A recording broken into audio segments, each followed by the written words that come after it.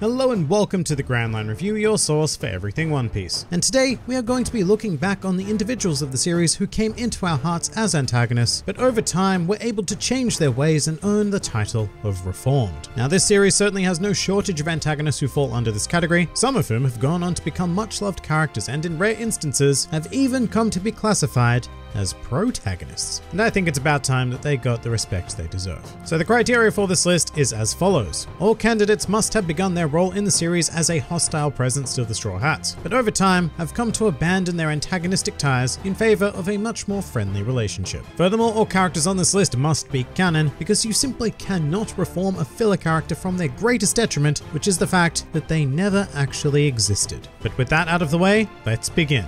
Welcome to the top 5 reformed villains in One Piece. Number 5 Caesar Clown. Starting out a bit shaky here, we have the primary antagonist from the Punk Hazard arc, a man that I and much of the fanbase absolutely detested at the time of his greatest relevance. And that was very much because he was a selfish psychopath capable of grand horrors, all in the name of his twisted experiments, many of which carry the goal of creating weapons of mass destruction. However, after being thoroughly thwarted, Caesar became a fixture amongst our protagonists, forcibly I might add, throughout the Dressrosa, Zou, and Whole Cake Island arcs. And over this truly absurd amount of time, thinking about it's like five years of publishing, Caesar has very very, very gradually softened into a character that is now essentially a gag presence. As shocking as this may seem, he's very enjoyable to have around these days. But not only that, he was also forced into performing several acts of good, such as saving the entirety of the Mink tribe from a weapon he crafted to begin with, I guess, but also going on to play an integral role in the plot to assassinate Big Mom. And while I can't say the word reform entirely applies to Caesar Clown as he sees himself, because you know he's still an incredibly selfish prick, I do believe that he has redeemed himself in the eyes of the fanbase and is even now considered a broad ally of the Straw Hats. It has been an incredible transformation from sadistic scientist to comical dickwad and well worthy of opening this video. Number 4.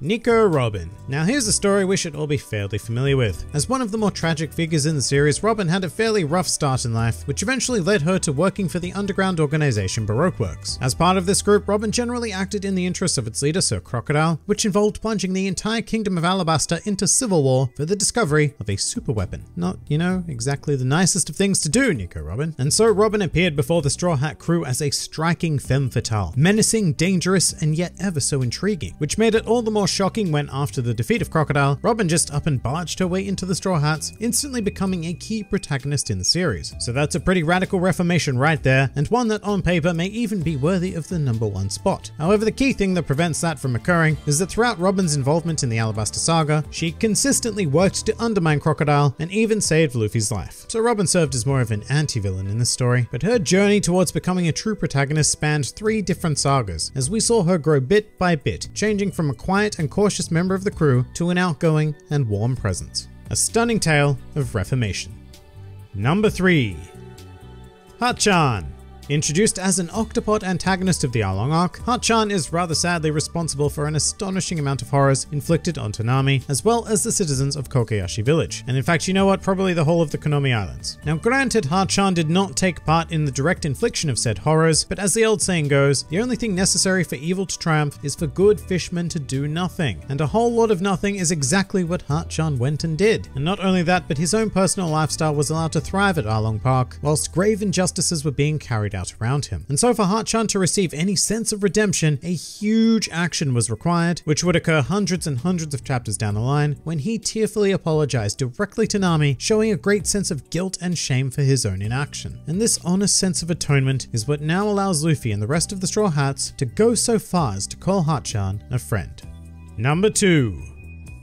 Bon Clay. Now this one may not strictly speaking be fair because in the eyes of the Straw Hats, Bon Clay was actually introduced as a friend, someone who initially got along with and easily excited the members of the crew. But underneath all that he was an antagonist nonetheless, and when push came to shove, Bon Clay stood against them during the Alabasta arc, only to be convincingly defeated by our resident blonde Sanji. However, these actions went against the core philosophy of the Okama Way, which prioritizes friendship above all else. And when given the chance to redeem himself, Bon Clay excelled. He sacrificed himself not once once but twice to ensure the safe escape of Luffy, once during the tail end of the Alabasta arc, and the other during Impel Down, in which it became clear that Bon Clay is now one of Luffy's best friends outside of the Straw Hats. And contrary to the popular belief of anime only watchers, I am here to deliver the good news that Bon Clay is in fact alive and well, and is serving as the current queen of level 5.5 of Impel Down. And as such, I'm sure that he will have many, many more moments to shine in his glorious glow of redemption. But even then, we still have to examine number one.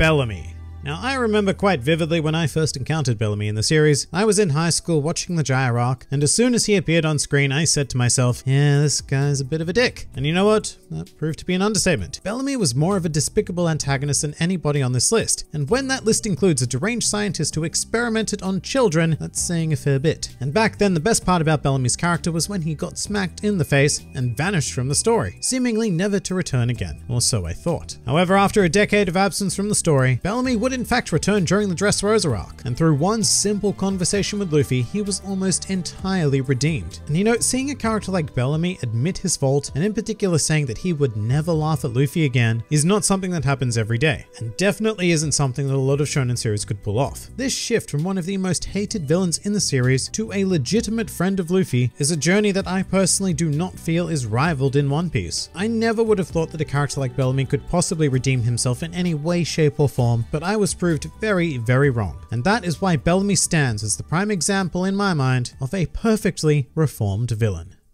But that pretty much does it for the top 5 reformed villains in One Piece. If you enjoyed this video and the content this channel produces in general, then please do consider donating to the Grand Line Review Patreon because the support of all of you amazing people is what continues to make this channel possible. And if you'd like to see more videos like this but apply to other anime and manga series, then please do check out my second channel New World Review for all of your wider needs. And if you'd like to join the fun at any time, then please do head over to my Discord server where a wide array of shenaniganry takes place on a daily basis. And finally, please do comment with your own favorite reformed villains in the series. This has been the Grand Line Review, and I'll see you next time.